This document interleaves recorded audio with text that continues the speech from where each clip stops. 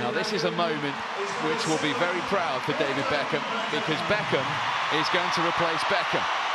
First of all, the former England captain is going to get a standing ovation on his return to Old Trafford, including from his previous manager.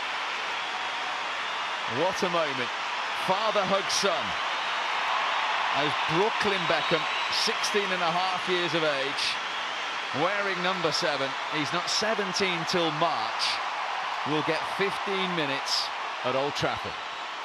Having Brooklyn out there is special. Um, special for a few reasons. You know, the, one of my lasting memories at Manchester United is winning the Premiership and walking around with Brooklyn at 18 months old. So to see him now, 16, walk onto the field, it's um, you know, it's a it's a special special moment. But then obviously to go back on there and to pass the ball to my son, it's uh, you know, it might never happen again. So it's special. I actually thought Brooklyn played better than David. To be fair, at least he tracked back. So uh, no, it was nice. I think it was a little personal touch at the end. Obviously, Brooklyn loves playing football, and uh, it was nice for him to experience what a great.